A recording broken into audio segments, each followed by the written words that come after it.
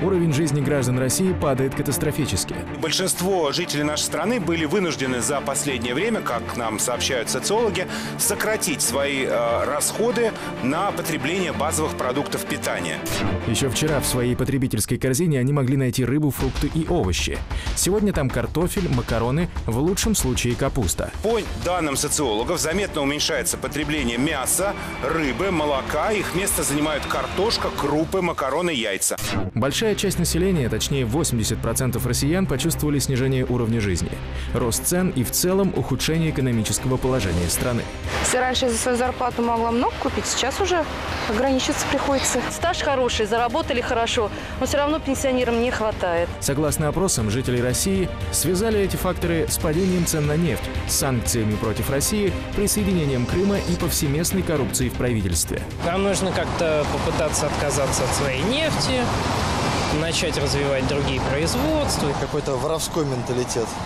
Лишь бы что-нибудь украсть и нажиться. Но что немаловажно, помимо падения уровня жизни населения и снижения уровня потребительской корзины, падает и качество продуктов, находящихся в ней. Далеко ходить не надо. Возьмем тот же хлеб. Народ просто ставит перед фактом, он будет хуже, и сразу объясняет почему. Мол, поймите и смиритесь. Ценообразование там напрямую привязано и к курсам валюты к внутренней политике, а это в первую очередь энерготарифы, транспортные тарифы, ну понимаете. Себестоимость там, растет. Себестоимость растет, и, соответственно, сжимает экономику хлебопека в тиски, в результате ему просто ничего не остается, кроме как пожертвовать качеством. Рынок диктует свои условия жизни, поэтому предприниматель и производитель должен под них подстраиваться. И он начинает покупать муку похуже, но подешевле.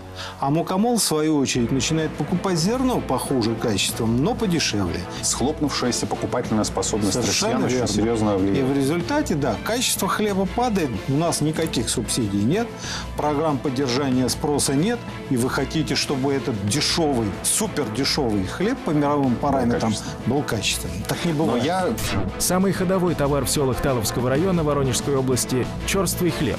Его ждут больше, чем свежие сдобы. Раз в неделю по деревням колесит автолавка с просроченным товаром. За сухими булками, батонами и буханками выстраивается очередь. За килограмм списанного товара здесь просят всего 14 рублей. Я этот хлеб беру кушать. Я беру... А? Почему? А потому что он дешевый. И мне как раз есть. А на этот хлеб мне не хватает денег. В студии прокремлевской программы «Время покажет» развернулись небывалые дебаты. Ну вот у нас на экране э, то, как люди оценивают сейчас экономическую ситуацию в стране, как удовлетворительную 41%, как плохую 54%. Ну и 2% затруднились ответить, а 3%, которые сказали, что хорошее, мы, к сожалению, не смогли их найти и пригласить в студию. Это очень их мало. Сергей. Главная проблема страны не рацион, который вы показываете. Главная проблема – борьба с лишним весом на самом деле. Нас, вот это серьезно. Посмотрите на эту студию и скажите мне, здесь у двух третей лишний вес. Так вот что получается, по словам одного из глашатаев Кремля Сергея Доренко. Бороться надо не за улучшение уровня жизни и экономическую стабильность, а с лишним весом. До ожирения индекс Кетлера 30 и выше. Сергей, хочу вам сказать, что лишний вес, обед и ужин. Конечно, как раз появляется от большого количества картошечки, от большого количества макарон. Я чувствую, что, я попал в чуждое мне общество. Здесь гедонисты. Как сделать так, чтобы народ поверил в видимую заботу Кремля и независимость телевидения? Люди считают, что положение ухудшается. Правительство обеспокоено ситу- ситуацией, которая сейчас происходит. Но в то же время стоит задача внушить всем, что антикризисные меры – это та манна небесная, которая спасет весь российский народ от стабильного голода. В обсуждаем антикризисные меры правительства. Отрасли, в которые правительство России намерено осуществить немалые вливания, сразу же появляются на экране. Государственную помощь получит автопром, строительство, транспортное машиностроение, сельское хозяйство, легенькая промышленность и финансовые институты. Но почему-то гости студии и спикеры явно не верят в благие намерения Кремля.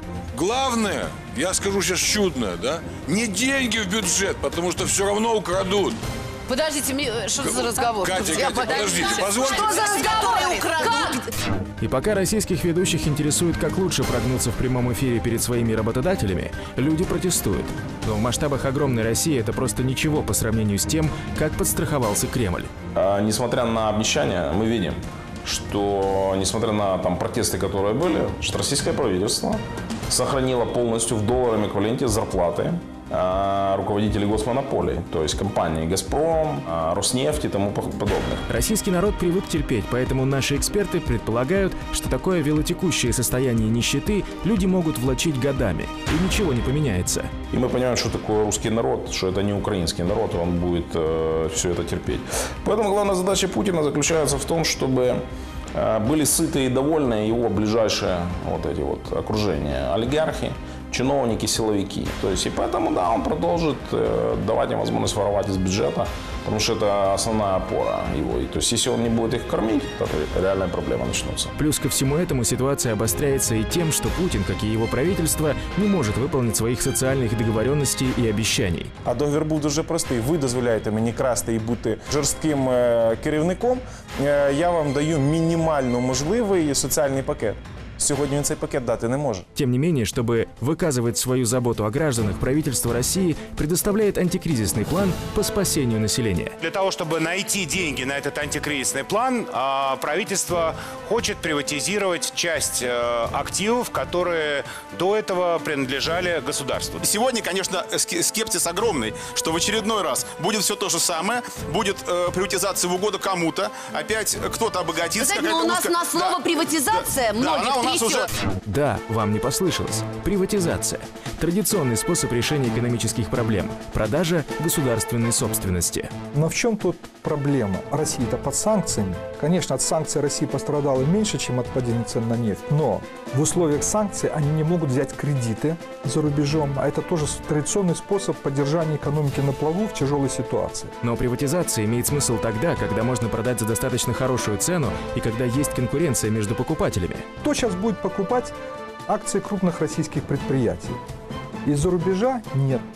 Потому что крупные западные инвесторы из-за санкций э, не могут осуществлять финансовые операции и не будут покупать российские предприятия. Поэтому пакеты акций крупнейших государственных компаний будут выкупать только российские олигархи. Ну, я считаю, что это добрая традиция. Кремль уже анонсировал проведение масштабного плана по приватизации государственных активов, чтобы успеть пополнить казну и не допустить в ближайшее время дестабилизации без того ухудшившегося экономического положения. Сьогодні в економіці Росії така ситуація, що вже дійшла справа до компаній монополістів, які до цього були недоторкані. Сьогодні ці компанії вже йдуть під ніж і навіть не з метою залучення нових технологій. Умовно залучаємо іноземного інвестора, який дасть нові технології, розширимо ринок, покращимо якість послуг. Про це все не йдеться. Путін дасть команду олігархів забирати гроші з офшорних зон, західних юрисдикцій і купувати ці активи і давати гроші в бюджет. Сегодня идет разговор о том, чтобы привлечь хоть какой-то капитал, чтобы можно было продержаться еще определенный промежуток времени. И это все делается, да, ради того, да, э, чтобы э, как бы бюджет получил дополнительные средства, чтобы было за что платить зарплаты и пенсии. По крупным компаниям, я думаю, что просто банальная схема раздачи э, части государственной собственности по относительно низкой цене для своих. Власти России хотят получить от приватизации от 500 до 800 миллиардов рублей. С молотка должны уйти пакеты акций по-настоящему лакомых кусочков. Роснефти, Башнефти, Совкомфлота, Алроса и финансовой группы ВТБ. І олігархи будуть намагатися все ж таки леву частину своїх заощаджень не заводити в Росію, тому що втеча капіталу триває в Росії. Хотя схем, как заставить местных олигархов оставить свои деньги в России, предостаточно. В таких вопросах у Кремля рука набита похлеще, чем у заправского рэкета. Например, вот там был такой господин Евтушенков, один из э, олигархов. э, У него забрали несколько компаний, в том числе нефтяная компания в Башкирии. Ее фактически присоединили к Роснефти. Теперь же Евтушенкову предлагают покупать то, что у него же и забрали. В 90-е такая схема в теневой экономике называлась мельницей. Как правило, представители силовых структур отбирали собственность, а потом тому же собственнику предлагали, ты покупай. И так несколько раз. То есть он свое же вынужден был покупать, иногда не один раз. И таким образом некоторые товарищи получали сверхприбыли. Вот сейчас в роли э, такого рейдера, э, использующего бандитские методы, выступает фактически государство российское. Проверенная комбинация с 90-х под названием «Мельница» и схема «Узкий круг» – продажа акций по заниженной цене людям из близкого окружения президента РФ. Два рабочих варианта, над которыми активно работают в Кремле. Какие-то дырки в бюджете за счет этих денег заткнут. Но купят эти предприятия? Опять-таки люди, приближенные к Путину. Те же братья Ротенберги, Тимченко, там еще кто-то. Вот в чем смысл этой комбинации. И дырки в бюджете заткнуть, и своих не обидеть. Они прагматичны, циничны и жестоки. В их мире правят деньги, за них они покупают благо и лояльность приближенных, в то время как простой народ еле сводит концы с концами. Они наняли лицемеров, чтобы прикрыть себя и отбелить в глазах народа. Но ведь всех не купишь, и правды не скроешь. Такова она, народная мудрость.